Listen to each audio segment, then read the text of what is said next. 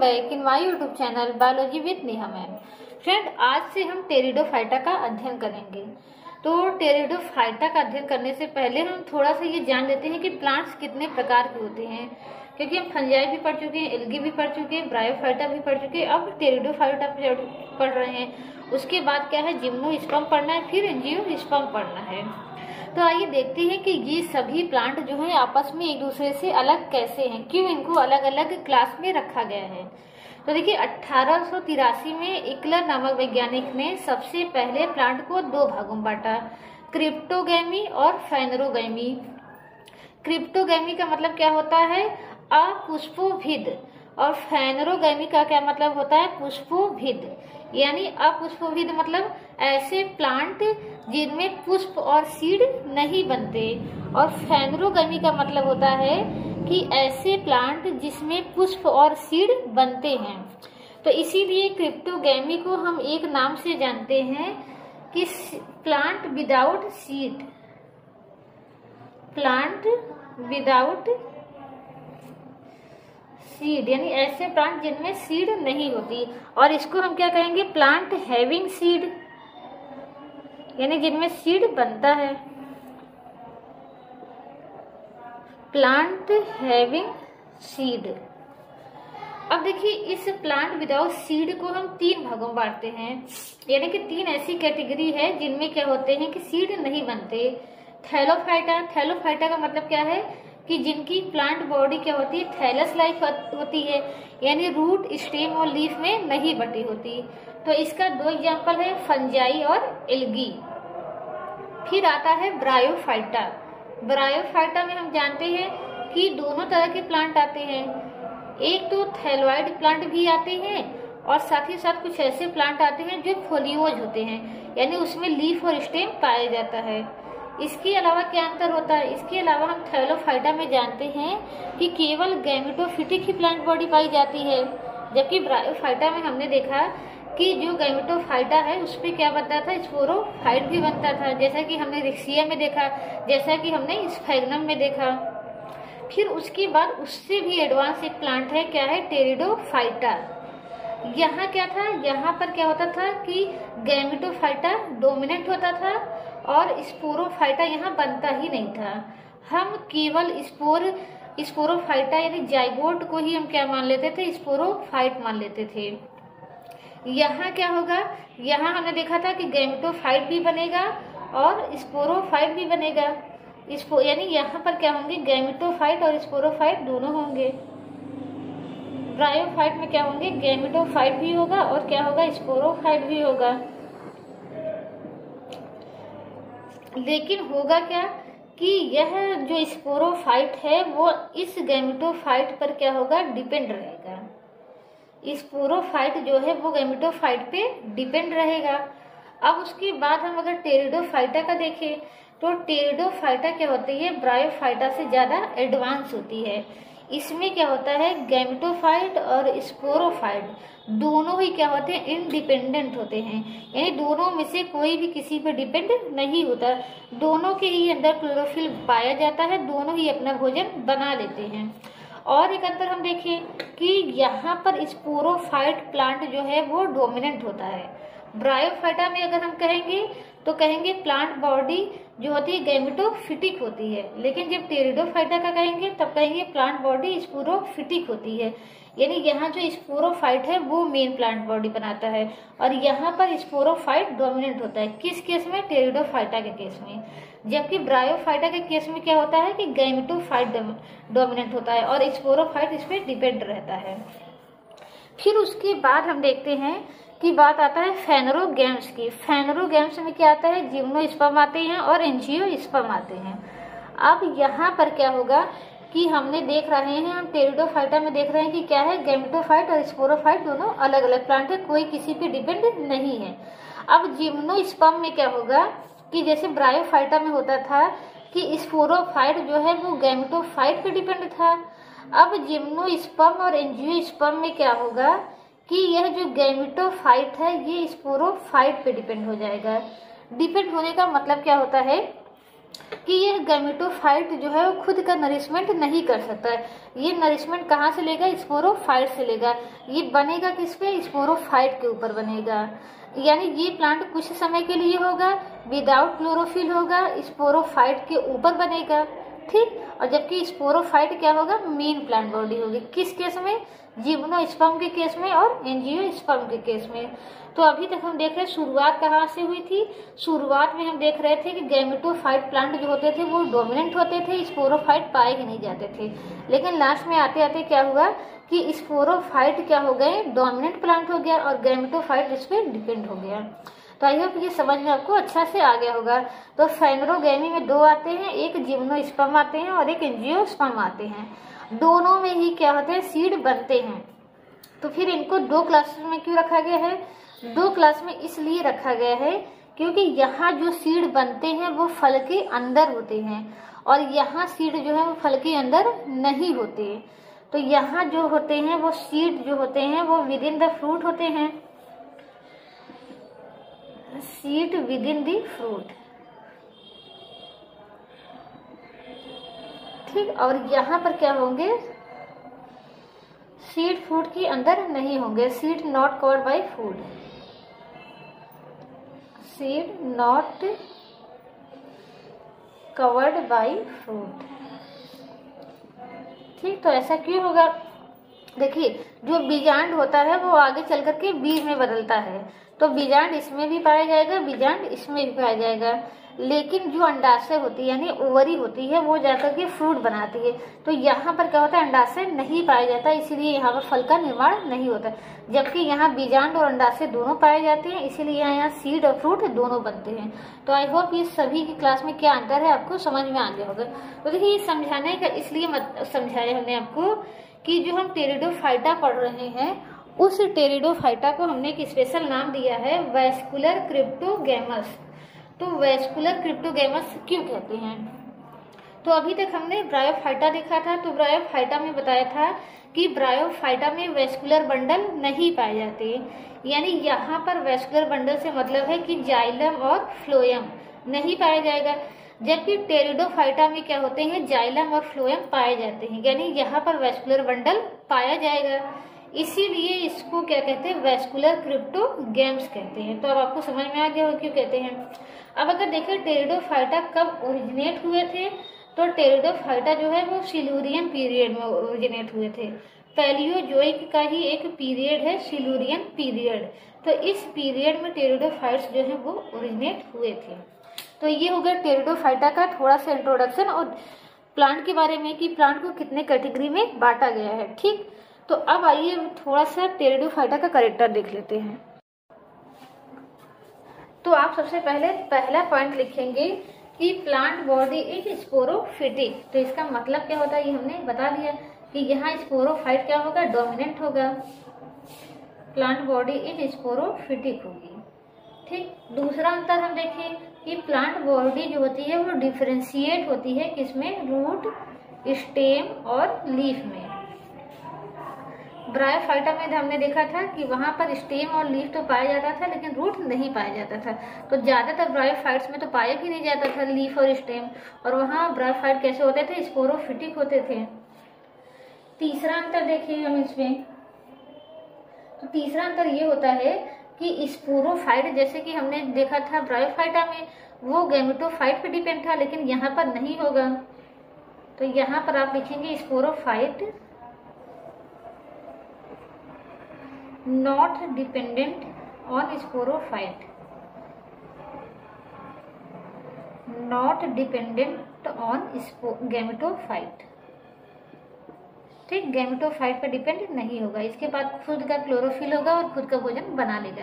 देखिए, जो पॉइंट आपको न समझ में आया करे, अगर उसका हम एक्स्ट्रा पॉइंट बता रहे तो आप वहाँ लिख लीजिए। अगर आपको नहीं पता कि डिपेंडेंट का मतलब क्या है तो आप थोड़ा सा कोष्टक में लिख सकते हैं कि यहाँ पर डिपेंड नहीं है। इसका मतलब ये है कि इसके अंदर खुद क्लोरोफिल पाया जा रहा है और प्रकाश संश्लेषण द्वारा ये अपना भोजन बना लेगा। अब नेक्स्ट पॉइंट देखते हैं। इसमें से जैसे कि ब्रायोफाइटा में सभी क्या होते थे टेरेस्ट्रियल होते थे और मॉइस्ट और सैडी प्लेसेस में पाए जाते थे। तो ऐसे ये भी क्या होगा कि मॉइस्ट एंड सैडी प्लेसेस में पाया जाएगा।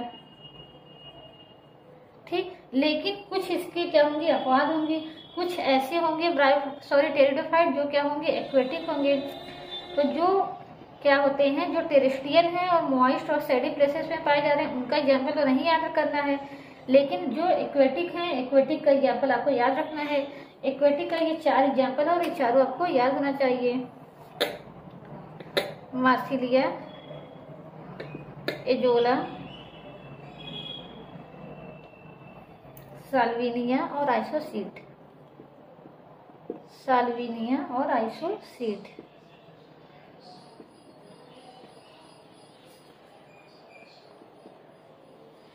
ठीक? तो ये चार एग्ज़ाम्पल आपको याद रखना है। इसके अलावा कुछ ऐसी होती हैं जो ज़ीरो फिटिक होती हैं तो उनका भी आपको याद रखना है। कौन ज़ीरो फिटिक है? तो ज़ीरो फिटिक में आपको दो याद रखना है। एक आपको सिले जिनेला याद रखना है और एक इक्वी सीटम याद रखना है। सिले जिनेला और इक्वी सीटम देखिए, इनमें से तो चार आपको पढ़ना ही है। एक आपको इक्विसिडम पढ़ना है सिलेजिनेला पढ़ना है, मार्सिलियम, मार्सिलिया पढ़ना है, और इसके अलावा दो और पढ़ने हैं, लाइकोपोडियम पढ़ना है और साइलोटम पढ़ना है। ठीक तो इतना आपको पढ़ना है। तो इसके अलावा अगर हम इनमें देखें, रूट, स्टेम और लीफ की बात करें तो आइए हम देखते हैं इनमें रूट, स्टेम और लीफ कैसा होता है। तो देखिए रूट जैसा कि आप जानते हैं कि दो प्रकार की होती है। एक होता है टैप रूट और एक होता है एडवेंटिसियस रूट एडवेंटिसियस रूट ठीक, दोनों में अंतर क्या होता है? तो जो बीज होता है तो बीज से क्या होते हैं? जो पहला रूट निकलता है, उसी को हम क्या कहते हैं? टैप रूट कहते हैं। तो कोई भी प्लांट होता है, उससे क्या निकलते हैं? पहले टैप रूट निकलते हैं। तो यहाँ पर भी क्या होता है कि पहले टैप रूट निकलता है प्लांट से। लेकिन ये टैप रूट जो होता है, कुछ क्षणिक होता है। कुछ क्षण के लिए हो जाता है, ये नष्ट हो जाता है। फिर स्टेम के निचले भाग से क्या निकलते हैं? रूट निकलते हैं। तो जो रूट कहाँ से निकलते हैं? स्टेम के निचले भाग से निकलते हैं। उसको हम क्या कहते हैं? एडवेंटिशियस रूट कहते हैं। तो यहाँ पर टैप रूट आप बताएँगे कि क्षणिक होता है और यह क्या होता है रिप्लेस हो जाता है किससे? एडवेंटिशियस रूट से। ठीक? तो टैप रूट कुछ समय के लिए होता है, बाद में क्या डेवलप हो जाता है? एडवेंटिशियस रूट डेवलप हो जाता है। लीफ की बात करें तो लीफ यहाँ पर क्या होते हैं? स्केली लीफ भी होते हैं और लार्ज लीफ भी होते हैं। लीफ कैसे होते हैं? स्केली भी होते हैं। स्केली का लीफ का मतलब कि लीफ बहुत छोटे छोटे होंगे। जैसे कि इक्वी सिटम में पाया जाता है। आप आगे देखेंगे। इक्वी सीटम है इसके अलावा लार्ज लीफ भी होते हैं। ठीक, ये पाया जाता है आपका लाइकोपोडियम में, जो आपको पढ़ना है, आप देख लेंगे। इसके अलावा सीधा जिनेला में। ठीक, सीधा जिनेला भी आपको पढ़ना है। अब इसकी अगर हम स्टेम ब्रांच की बात करें तो हमने ब्रायोफाइटा में देखा था, ये ब्रायोफाइटा में कैसी ब्रांचेस होती थी? डाइकॉटमस ब्रांचेस होती थी। तो यहाँ पर डाइकॉटमस ब्रांचेस तो होंगी ही, शायद साथ साथ क्या होती है? मोनोपोडियल होती है। मोनोपोडियल का मतलब क्या होता है? हमने पहले डाइकॉटमस का मतलब क्या बताया था? कि अगर स्टेम है स्टेम क्या करिए दो भागों में बढ़ जा रही है। फिर आगे चल करके ये भी क्या हो रहा है? दो भागों में बढ़ जा रहा है। ये भी क्या करे दो भागों में बढ़ जा रहा है। तो जब भी ब्रांचिंग हो रही है, कितने में हो रही है? दो में हो रही है। लेकिन जब इस तरीके से हो स्टेम इस तरीके से हो, और इससे क्या हो एक एक ब्रांचेस निकले बस। या इस तरीके से, या फिर इस तरीके से अल्टरनेट रूट में निकले, एक इधर से, एक इधर से, ऐसे। तो इसको हम क्या कहेंगे? मोनोपोडियल कहेंगे। मोनोपोडियल कहेंगे। और इसको क्या कहेंगे? डाइकॉटमस कहेंगे। डाइकॉटमस कहेंगे। ठीक, दोनों का मतलब आपको समझ में आ गया। ब्रांचिंग कैसे होती है? मोनोपोडियल और डाइकॉटमस।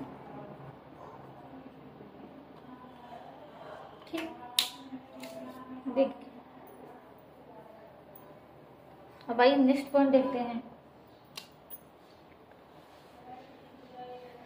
तो इसका सबसे जो यूनिक फीचर है, ये है, हमने अभी बताया कि इसमें क्या होता है, वेस्कुलर सिस्टम पाया जाता है, यानी कि जाइलम और फ्लोएम क्या होंगे, इसमें पाए जाएँगे। वेस्कुलर सिस्टम क्या होगा, पाया जाएगा, वेस्कुलर सिस्टम प्रेजेंट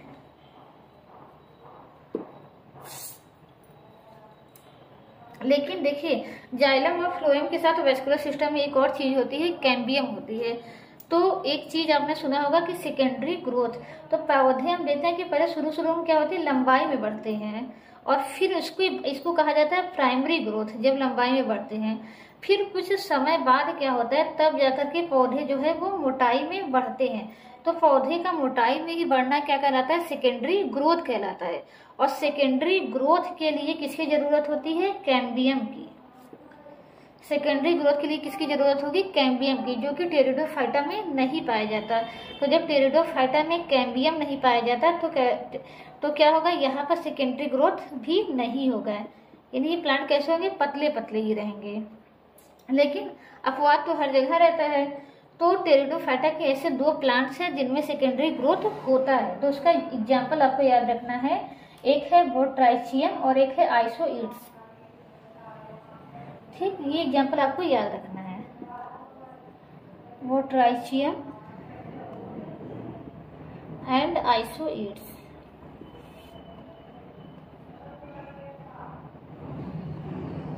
ठीक ये दो एग्ज़ाम्पल आपको क्या करने हैं? याद रखना है कि इनमें और इनमें क्या होता है? सेकेंडरी ग्रोथ पाया जाता है।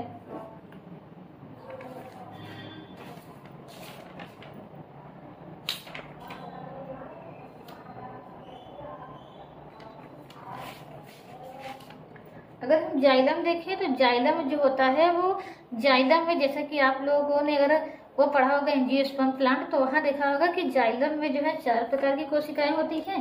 और फ्लोएम में भी चार प्रकार की कोशिकाएँ होती हैं। तो कौन कौन सी कोशिकाएँ जाइलम में होती हैं? जाइलम में एक तो आपका ट्रैकिड्स होता है। वेसल होते हैं। जाइलम पेरेंकाइमा होता है। और जाइलम फाइबर होता है। ठीक, ये चार पाए जाते हैं किसमें जिम्नोस्पम में और एंजियोस्पम में। लेकिन यहाँ पर क्या होगा? केवल और केवल ट्रैकेट्स पाया जाएगा। कुछ में क्या होंगे? वेसल्स भी पाई जाती हैं अपवाद के रूप में। तो जहाँ जहाँ अपवाद है, वहाँ क्या आपको याद रखना है। तो सभी टेरिडोफाइट्स में जाइलम की केवल एक कोशिका पाई जाती है, जिसको हम क्या कहते हैं? ट्रैकेट्स देखिए, जाइलम क्या है? एक संयुक्त टिश्यू होता है, संयुक्त ऊतक होता है, जो चार प्रकार की कोशिकाओं से मिलकर के बना होता है। ट्रैकिड वेसल्स पैरेनकाइमा और फाइबर तो केवल ट्रैकिड से जो है वो टेरिडोफाइटा में पाए जाते हैं। लेकिन अपवाद स्वरूप कुछ में वेसल्स भी पाए जाते हैं। तो वेसल्स किसमें पाए जाते हैं, वो आपको एग्ज़ाम्पल याद रखना है। तो इसके आप एग्ज़ाम्पल याद रख लीजिए ये पाया जाता है टेरिस बिटाटा में। Pteris T R I S R I S, Pteris vittata में। ठीक ये टेरिस क्या है? जीनस है, विटाटा क्या है? इसकी स्पीसीज है। इसके अलावा ये टेरेडियम में पाया जाता है। टेरेडियम की किस अगर स्पीसीज में पाया जाता है तो कभी कभी पूछ जाए, क्योंकि टेरेडियम तो बहुत होता है, लेकिन इसकी कुछ ही स्पीसीज में पाया जाता है। तो एक्विलिनम में पाया जाता है। एक्विलिनम में। इसके अलावा एक और एग्जांपल आपको याद रखना है एक्टिनोटेरिस एक्टिनोटेरिस यहाँ पर पी क्या होगा? साइलेंट होता है। एक्टिनोटेरिस तो एक्टिनोटेरिस टेरेडियम और टेरिस इन तीनों में पाया जाता है। अगर इस स्पीसीज का नाम याद ना हो पाए तो कोई बात नहीं। ऐसे ही याद कर लिए टेरिस टेरेडियम और एक्टिनोटेरिस ठीक, तीनों का नाम क्या है? मिलता जुलता है। अब उसी तरह अगर हम फ्लोएम में देखें तो फ्लोएम में भी क्या होता है कि चार प्रकार की कोशिकाएँ पाई जाती हैं। फ्लोएम में भी चार प्रकार की कोशिकाएँ पाई जाती है। कौन कौन सी? एक आपकी पाई जाती है सीव ट्यूब पाई जाती है। कंपेनियन सेल पाई जाती है। ठीक? ये इसीलिए बता दे रहे हैं ताकि अगर हम बताएँ कि यहाँ वेसल्स पाए जाता है तो इसका मतलब आपको समझ में आए कि वेसल्स का क्यों हम बात करें कि यहाँ वेसल्स भी पाई जाती है। वेसल्स किसका करेक्टर है? हायर प्लांट का। कंपेनियन सेल्स पाई जाएगी पेरेंट काइमा पाया जाएगा और फाइबर पाया जाएगा। ये दोनों कॉमन रहेंगे। ठीक? तो यहाँ पर क्या है? शिव ट्यूब न पाकर के क्या पाया जाता है? शिव सेल पाया जाता है। शिव ट्यूब और शिव सेल में क्या अंतर होता है? ये हम आगे देखेंगे। लेकिन अपवाद स्वरूप क्या होता है कि कुछ जो टेरिडोफाइट्स होते हैं, उनमें शिव ट्यूब पाया जाता है। हायर प्लांट में क्या होता है? शिव ट्यूब पाया जाता है, लेकिन टेरिडोफाइटा में उसकी जगह शिव सेल पाया जाता है। लेकिन अपवाद स्वरूप कुछ टेरिडोफाइटा ऐसे होते हैं जिनमें शिव ट्यूब ही पाया जाता है। तो उनका आपको नाम याद रखना है। तो इक्विसिटम की दो स्पीसीज है, दोनों में ही पाया जाता है। तो इक्विसिटम की ये दोनों स्पीसीज आपको याद रखनी है। देखिए, इक्विसिटम क्या है फ़ेमस टेरिडोफाइट से इसकी बहुत सी स्पीसीज पाई जाती हैं और हर स्पीसीज की क्या है अलग अलग खासियत है। तो इसकी दो स्पीसीज आपको कम से कम याद होने चाहिए। एक इक्विसिटम अर्वेंस है अर्वेंस और एक इक्विसिटम जिटम है। इक्विसिटम गिगानशियम या जिजानटिसम कहते हैं। गिगानटियम ठीक, ये दो स्पीसीज का नाम आपको याद रखना है। अब आते हैं इसमें रिप्रोडक्शन के बारे में।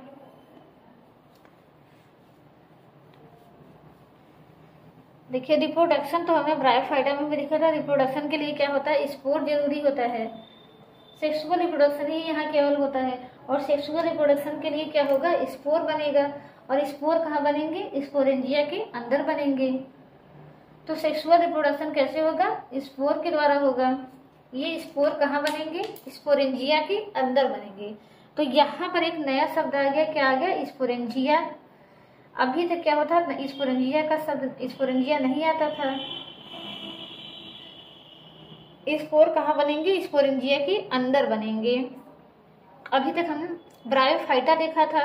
तो ब्रायोफाइटा में हमने देखा था कि जो स्पोरोफाइटा होता था, वो तीन भागों में डिवाइड होता था फ़ूड कैप्सूल और सीटा कैप्सूल के अंदर ही क्या बनता था? स्पोर बनता था। लेकिन यहाँ स्पोर कहाँ बनेगा? स्पोरेंजिया के अंदर बनेगा। और ये स्पोरेंजिया होगी कहाँ? ये लीफ के वेंट्रल सरफेस पे होगी। स्पोरेंजिया कहाँ होगी? लीफ के वेंट्रल सरफेस पे होगी। अब वेंट्रल सरफेस का मतलब क्या है? कि ये प्लांट है प्लांट पे क्या लगी होगी? लीफ लगी होगी। ये लीफ का क्या होगा? ये अपर सरफेस होगा।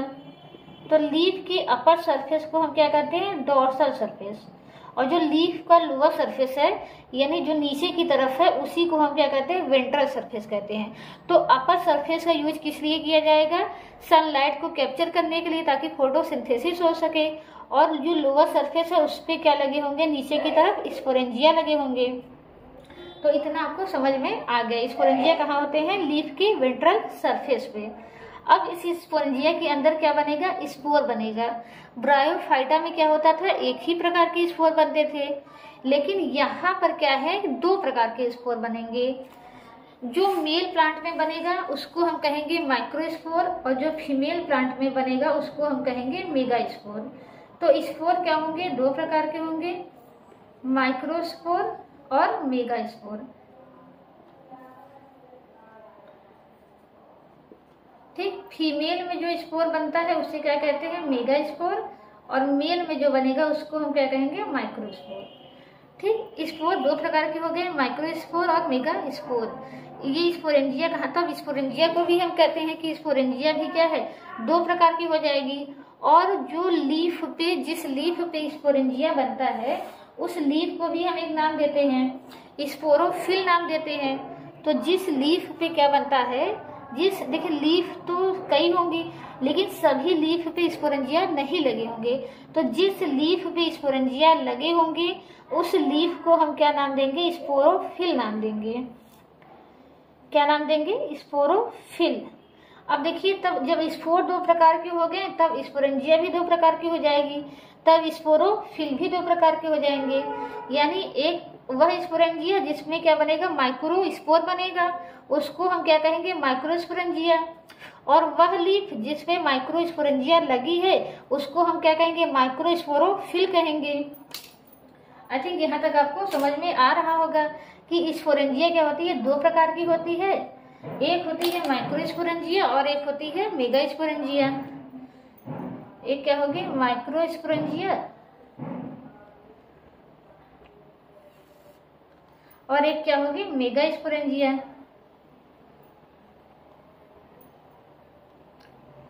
और इसी आधार पे क्या हो जाएगा? स्पोरोफिल भी दो प्रकार का हो जाएगा। यानी वह स्पोरोफिल या वह लीफ जिसकी वेंटर सरफेस पे क्या लगी है? माइक्रोस्पोरेंजिया लगी है। तो उसको हम क्या कहेंगे? माइक्रोस्पोरोफिल कहेंगे। माइक्रोस्पोरोफिल कहेंगे। उसी प्रकार जिसपे क्या लगा है? मेगा लगा है तो उसको क्या कहेंगे? मेगा स्पोरोफिल कहेंगे। ठीक? तो मेगा स्पोरोफिल और माइक्रो स्पोरोफिल दो प्रकार की लीफ होती हैं। जो माइक्रो स्पोरोफिल होती है, उस पर माइक्रो स्पोरेंजिया लगी होती है, माइक्रो स्पोरेंजिया में माइक्रो स्पोर बनते हैं। मेगा स्पोरोफिल पे मेगा स्पोरेंजिया लगी होती है मेगा स्पोरेंजिया पे क्या लगे होते कि अंदर क्या बनते हैं मेगा स्पोर बनते हैं। तो यहाँ पर अगर ये स्पोरेंजिया का डेवलपमेंट पूछा जाता है कि ये स्पोरेंजिया जो है वो डेवलप कैसे होती है? तो जैसे कि पीजीटी की पेपर में अगली बार पूछा गया था कि एनजीओस्पर्म में स्पोरेंजिया का डेवलपमेंट कैसा होता है? तो वहाँ दूसरी तरीके से होता है, यहाँ दूसरी तरीके से होता है। दो ही तरीके मेनली होते हैं यू स्पोरेंजिएट होते हैं और लेप्टो स्पोरेंजिएट होते हैं। तो यहाँ दोनों तरीका यूज़ होता है। तो यहाँ आप बताएँगे डेवलपमेंट ऑफ़ स्पोरेंजिया क्या होंगे? दोनों तरह के होंगे।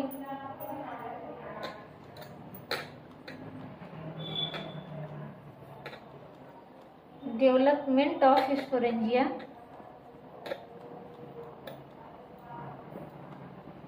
development of sporangia क्या होता है? यू स्पोरेंजिएट भी होता है और लेप्टो स्पोरेंजिएट भी होता है यहाँ पर। यू स्पोरेंजिएट यू स्पोरेंजिएट भी होता है और लेप्टो स्पोरेंजिएट भी होता है।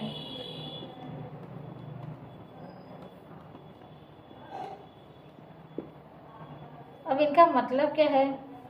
इनका मतलब भी समझ लीजिए। यानी जब स्पोरेंजिया का डेवलप जो हो ग्रुप ऑफ़ द सेल से हो, तब उससे हम क्या कहते हैं? Eusporangiate group of cell और जब स्पोरेंजिया का डेवलपमेंट किससे हो? केवल सिंगल सेल से हो। केवल किससे हो? सिंगल सेल से हो तो उसको हम क्या कहेंगे? लेप्टो स्पोरेंजिएट कहेंगे।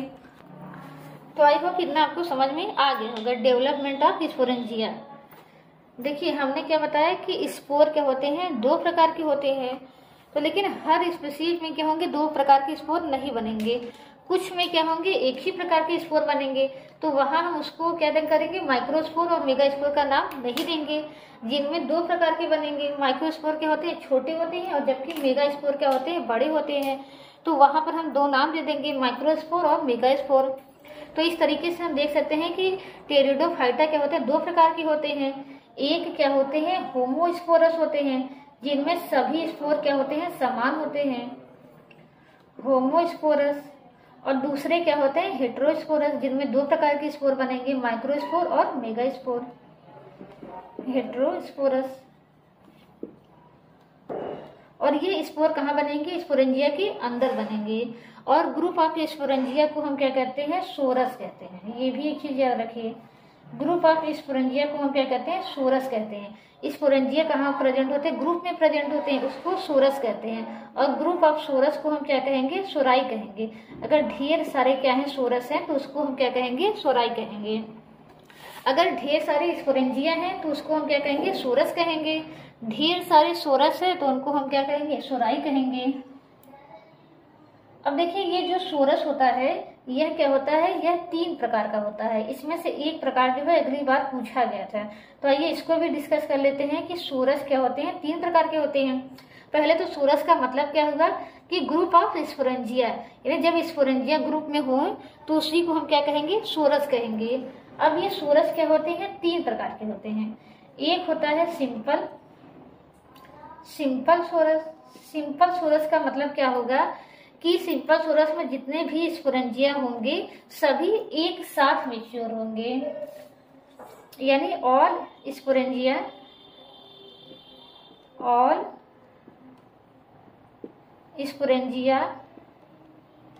grow and mature at the same time grow and mature at the same time at the same time यानी जितने भी क्या होंगे? सोरस में स्पुरंजिया होंगे, सभी एक साथ डेवलप होंगे, सभी एक साथ मिच्योर होंगे। दूसरा होता है ग्रेजुएट टाइप दूसरा होता है ग्रेजुएट सोरस अब ग्रेजुएट सोरस में क्या होता है कि वह सोरस यानी वह स्पुरंजिया जो कहाँ स्थित है? सेंटर में स्थित है। वह पहले डेवलप हो जाएगा और जो पेरीफेरी किनारे पे है, वो बाद में डेवलप होगा। ठीक तो यहाँ पर जो ये स्पोरेंजिया है, ये क्या होंगी? पहले डेवलप हो जाएँगी सेंटर में और जब पेरीफेरी पे है, किनारे में है, ये क्या होंगी? बाद में डेवलप होगी। तो यहाँ छोटा इसलिए बनाया है, ये क्या है? इमेच्योर स्पोरेंजिया है। इमेच्योर स्पोरेंजिया और यहाँ पर क्या होगा? मेच्योर स्पोरेंजिया होंगी। यहाँ पर स्पोर भी बन जाएँगे। ठीक? ये क्या है? मेच्योर स्पोरेंजिया तो ये कौन सा है? सेंटर में है। तो जो जब सेंटर का स्पोरेंजिया क्या हो जाए? पहले डेवलप हो जाए और पेरीफेरी की उसके बाद में डेवलप हो तो इसी को कहा जाता है क्या? ग्रेजुएट सोरस और तीसरे प्रकार का हमारा होता है मिक्स्ड सोरस तीसरे प्रकार का क्या होता है? मिक्स्ड सोरस होता है। मिक्स्ड सोरस में क्या होता है कि जो मेच्योर होते हैं, वो इमेच्योर होते हैं, वो इरेगुलरली अरेंज होते हैं। कोई रेगुलर पैटर्न नहीं होता। यहाँ पर पैटर्न है कि मेच्योर सेंटर में रहेगा और इमेच्योर जो है पेरीफेरी भी होंगे। लेकिन मिक्स्ड सोरस में क्या होगा? कोई भी पैटर्न नहीं होगा किसी भी तरीके से अरेंज हो सकते हैं, ठीक? अब आपको क्या करना है? इनका एग्ज़ाम्पल याद रखना है कि किसमें मिक्स्ड पाया जाता है, किसमें सिंपल पाया जाता है और किसमें ग्रेजुएट पाया जाता है। ये पिछली बार पीजीटी में पूछा गया था। ठीक तो सिंपल का आपको याद रखना है। एक ऑफियो ग्लॉसम याद रखना है। ये चल नहीं रहा है। एक आपको ऑफियो ग्लोसम याद रखना है। Ophioglossum.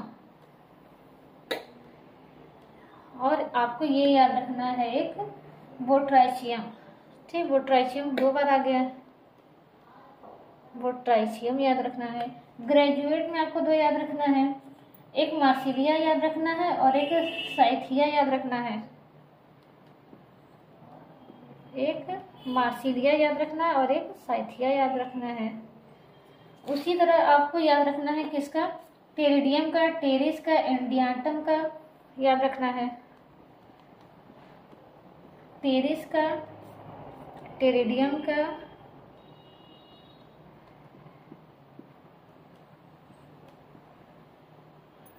और किसका याद रखना है? एडियांटम का याद रखना है। एडियांटम का। ठीक इसमें कैसा पाया जाता है? मिक्स्ड सोरस पाया जाता है। और एक पॉलीपोडियम भी, नहीं, तीन ही सही है, ठीक? Pteridium Pteris, Marsilea, Cyathea, Ophioglossum और बोट्राइकियम ये इतना एग्ज़ाम्पल आपको याद रखना है, ठीक? तो अब इसका हम नेक्स्ट पॉइंट देखते हैं। तो यहाँ तक आपको स्पोरेंजिया के बारे में समझ भी आ गया। स्पोरेंजिया के अंदर क्या बनेंगे? स्पोर बनेंगे। और स्पोर से क्या जर्मिनेट होते हैं? हमने बताया था कि स्पोर से क्या बनेगा? स्पोर कैसे होते हैं? हेप्लॉइड होते हैं। और हेप्लॉइड जब किसी संरचना को बनाती है तो उसको हम क्या कहते हैं? गैमिटोफाइट कहते हैं। अब ये स्पोर क्या होगा? जर्मिनेट होगा। और जर्मिनेट होकर के क्या बनाएगा? गैमिटोफाइट बनाएगा। यह स्पोर क्या होगा? जर्मिनेट होगा। और जर्मिनेट होकर के क्या बनाएगा? गैमिटोफाइट प्लांट बनाएगा। स्पोर जर्मिनेट हुआ और जर्मिनेट होकर क्या क्या बनाया? गैमिटोफाइट बनाया। यह गैमेटोफिटिक प्लांट बनाएगा। देखिए, अब इसका जो गेमेटोफिटिक प्लांट है, वो कैसा होगा? सिंपल होगा ग्रीन होगा और हट सेप होगा। सिंपल होगा ग्रीन होगा और हट सेप होगा। हट सेप्ड होता है। अब देखिए स्पोर से क्या बन गया? गैमेटोफाइड बन गया। अब गैमिटोफाइट का क्या काम होता है? हमने बताया था कि गैमिटोफाइट का काम होता है सेक्स ऑर्गन का निर्माण करना। तो यहाँ पर क्या बनेंगे? सेक्स ऑर्गन बनेंगे। ठीक तो इसी तरह से लाइफ साइकिल चलती है। जब प्रायोफाइटा पढ़ेंगे तो लाइफ साइकिल कहाँ से शुरू होगी? गैमिटोफाइटा से शुरू होगी, यानी गैमिटोफिटिक प्लांट से शुरू होगी। तो वहाँ सबसे पहले सेक्स ऑर्गन देखेंगे। लेकिन यहाँ लाइफ साइकिल कैसे चलेगी? यहाँ लाइफ साइकिल स्पोरोफाइट प्लांट से चलेगी। तो सबसे पहले हम क्या देखेंगे? स्पोरेंजिया देखेंगे स्पोर देखेंगे। फिर स्पोर के बाद गैमिटोफाइट प्लांट देखेंगे। फिर गैमिटोफाइट प्लांट में सेक्स ऑर्गन देखेंगे। तो इस तरीके से। ब्रायोफाइटा और टेडोफाइटा की लाइफ साइकिल अलग अलग चलेगी। मतलब अलग तरीके से चलेगी। वहाँ शुरुआत कहाँ से होता था? गैमेटोफिटिक प्लांट से शुरुआत होता था और यहाँ पर शुरुआत होगा तो स्पोरोफिटिक से होगा तो वही हमने शुरुआत किया। स्पोरोफिटिक प्लांट था, उसमें स्पोरेंजिया बने स्पोरेंजिया में स्पोर बना स्पोर ने गैमेटोफाइट प्लांट बनाया। गैमेटोफिटिक प्लांट में क्या बनेंगे? सेक्स ऑर्गन बनेंगे। सेक्स ऑर्गन को हम क्या कहते हैं? एंथ्रेडिया कहते हैं। एंड आर्ची गोनिया कहते हैं तो यहाँ एंथेडिया और आर्ची गोनिया में कोई बेसिक अंतर नहीं मतलब नॉर्मल अंतर नहीं है, ठीक? दोनों ही क्या है, एक ही जैसे हैं, एंथ्रेडिया और आर्ची गोनिया। फिर देखिए देखिए, स्पीसीज हमने क्या बताया, कुछ ऐसी स्पीसीज होंगी जो होमोस्पोरस होंगी। कुछ ऐसी होंगी जो होमोस्पोरस होंगी, यानी जिनमें क्या होंगे, एक ही प्रकार के, जिनमें क्या होते हैं, एक ही प्रकार के स्पोर बनते हैं। तो जो होमोस्पोरस स्पीसीज होती है, वो हमेशा कैसी होती है? मोनोसियस होती है। मोनोइसियस होती है। देखिए, इसका मतलब समझिए कि हमने ये गैमेटोफाइटा हमने बताया कि ऐसा प्लांट जो क्या होगा? होमोस्पोरस होगा, ठीक? यानी उसमें एक ही प्रकार के स्पोर बनेंगे। और वह स्पोर क्या करेगा? जर्मिनेट करेगा। जर्मिनेट करके क्या बनाएगा? गैमेटोफिटिक प्लांट बनाएगा। तो यह गैमेटोफिटिक प्लांट हमेशा कैसे होगा? मोनोसियस होगा। मोनोसियस का मतलब है कि इसमें क्या होगा? मेल और फीमेल दोनों ही सेक्स ऑर्गन होंगे। समझ में आ गया? और जो स्पीसीज क्या होगी? हेट्रोस्पोरस होगी। जो स्पीसीज हेट्रोस्पोरस होगी, वो क्या होगी? डायोसियस होगी। वो क्या होगी? डायोसियस होगी। डायोसियस का मतलब क्या है? कि उसमें मेल और फीमेल पार्ट क्या होंगे? अलग अलग थैलस में होंगे। क्यों अलग अलग थैलस में होंगे? क्योंकि यहाँ हेड्रोस्पोरस में क्या बन रहा है? दो प्रकार के स्पोर बन रहे हैं। एक आपका माइक्रो स्पोर बन रहा है और एक आपका मेगा स्पोर बन रहा है। तो जो माइक्रो स्पोर है, वो क्या बनाएगा? वो जो थैलस बनाएगा, वो मेल थैलस बनाएगा। वो क्या बनाएगा? मेल गैमेटोफाइट बनाएगा। और जो मेगा स्पोर है, वो क्या बनाएगा? फीमेल गैमेटोफाइट बनाएगा। ठीक? और मेल गैमेटोफाइट पे क्या बनेंगे? एंथ्रीडिया बनेगा। और फीमेल गैमेटोफाइट पे क्या बनेंगे? आर्ची गोनिया बनेगा। ठीक? तो इतना समझ में आ गया। तो जब मेल और फीमेल सेक्स ऑर्गन क्या होते हैं? अलग अलग प्लांट में बनते हैं तो उसी प्लांट को हम क्या कहते हैं? डायोसियस कहते हैं। जब एक ही प्लांट में बनते हैं तो उसको हम क्या कहते हैं? मोनोसियस कहते हैं। तो यहाँ आपको समझ में आ गया कि क्या होता है। यहाँ पर अब क्या होंगे? एंथ्रेडिया बन गया आर्ची गोनिया बन गया। तो हम सेक्स ऑर्गन देखते हैं। सेक्स ऑर्गन के बाद क्या होता है? फर्टिलाइजेशन का प्रोसेस होता है। फर्टिलाइजेशन होगा। अब और हम जानते हैं फर्टिलाइजेशन से क्या बनता है? जाइगोट बनता है। यह जाइगोट कहाँ बनेगा? आर्ची गुनिया के अंदर बनेगा। और आर्ची गुनिया कहाँ है? जो गैमेटोफिटिक प्लांट है, उसी के ऊपर क्या होता है? उसी में या तो एम्बेडेड रहता है आर्ची गुनिया, या तो प्रोजेक्ट रहता है। जैसे ये ये थैलस है थैलस हमने बताया कैसा रहेगा? समवट हर्ट शेप रहेगा। ठीक इस तरीके से। तो यहीं पर क्या बनेंगी? आर्ची गोनिया बनेंगी। अब यह गोनिया जो होती हैं, ये थैलस में क्या होती है? इम्बेडेड भी रह सकती हैं या थैलस के ऊपर निकली भी रह सकती हैं? इसी में क्या होगा कि अंड कोशिका होगा। इसी अंड कोशिका से क्या हो जाएगा? जायगोट बन जाएगा। अब यही जायगोट क्या होगा? डिवाइड होगा। यही जायगोट डिवाइड होकर के क्या बनाएगा? एम्ब्रियो बनाएगा। ठीक? अब इसी, देखिए, अब जाइगोट से क्या बनेगा? मल्टी सेलुलर एम्ब्रियो बनेगा। तो कुछ समय तक ये जो बन रहा है स्पोरोफाइट कुछ समय तक तो इस गैमेटोफाइट से भोजन लेगा। लेकिन जब वेल डेवलप हो जाएगा तो भोजन लेना बंद हो जाएगा। क्योंकि अभी क्या है जाइगोट एक सेल है तो उसको मल्टी सेलुलर एम्ब्रियो बनाना है तो वो भोजन कहाँ से लेगा? गैमेटोफाइट से लेगा, क्योंकि डेवलप किससे हो रहा है? गैमेटोफाइट पे ही डेवलप हो रहा है। तो जब तक एम्ब्रियो का निर्माण होता है, तब तक ये भोजन लेता है। फिर इस एम्ब्रियो से क्या बन जाएगा? हमारा स्पोरोफिटिक प्लांट बन जाएगा। तो टेरिडोफाइटा की मेन प्लांट बॉडी कैसी होती है? स्पोरोफिटिक होती है, जो रूट स्टेम और लीफ में डिवाइड होती है और कैसी होती है? इनडिपेंडेंट होती है। इसके अंदर लीफ पाई जाती है लीफ में क्लोरोफिल होता है और ये अपना भोजन बना लेता है। अब क्या बन जाएगा? स्पोरोफाइट प्लांट बन जाएगा। और ये स्पोरोफाइट प्लांट कहाँ बनेगा? इसी जो गैमिटोफाइट प्लांट है, उसी के ऊपर ही बनेगा, ठीक? तो अब यहाँ पर क्या हो जाएगा? स्टेम आएगा, यहाँ पर लीफ आ जाएगी, फिर लीफ पर क्या बनेंगे? स्पोरेंजिया बनेगी स्पोरेंजिया के अंदर स्पोर बनेगा, फिर स्पोर से गैमेटोफाइट बनेंगे। तो यहाँ पर मेन प्लांट बॉडी कौन सी होगी? स्पोरोफाइट होगी। ये गैमेटोफाइट कुछ समय बाद क्या होगी? नष्ट हो जाएगी। लेकिन ज़्यादा समय के लिए कौन सी प्लांट रहेगी? स्पोरोफाइट प्लांट रहेगा। इसीलिए कहते हैं टेरिडोफाइटा में स्पोरोफिटिक प्लांट क्या होता है? डोमिनेंट होता है। डोमिनेंट का मतलब ही ये है, जो डिपेंडेंट हो और ज़्यादा समय के लिए हो। तो डिपेंडेंट कौन है? स्पोरोफाइट है। ज़्यादा समय के लिए कौन है? स्पोरोफाइट है।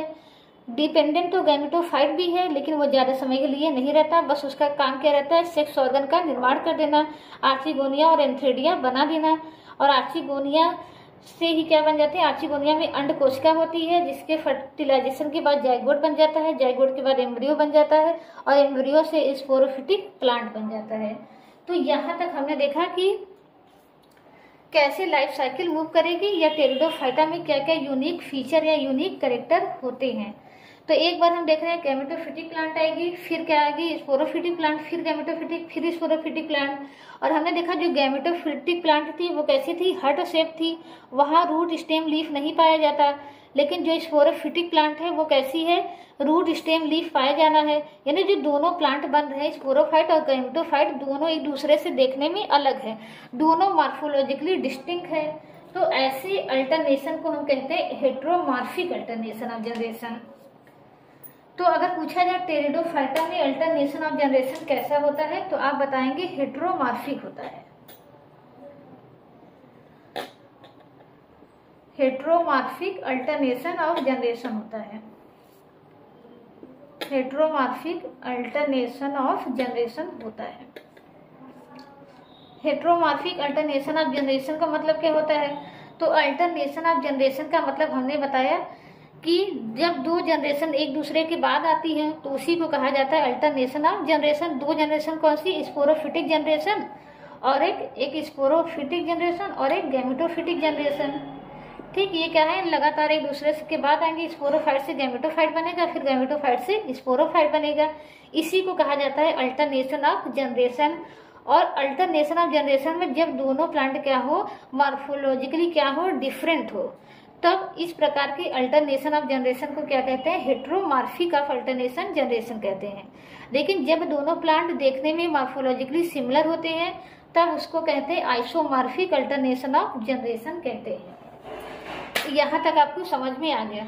अब इसके बाद हम क्या देखेंगे? टेरिडोफाइटा का कंपेरिजन करेंगे, किससे करेंगे? ब्रायोफाइटा से करेंगे और जिम्नोस्पम से करेंगे। जिम्नोस्पम और टेरिडोफाइटा में क्या सिमिलरिटी होती है और दोनों में क्या अंतर होता है? इसके साथ साथ हम टेरिडोफाइटा और ब्रायोफाइटा की भी सिमिलरिटी देखेंगे और डिसिमिलरिटी देखेंगे। तो फ्रेंड्स अगर टेरिडोफाइटा आपको अच्छे से समझ में आ गया हो तो प्लीज़ वीडियो को लाइक कर दीजिए और मेरे चैनल को सब्सक्राइब कर दीजिए। Thank you so much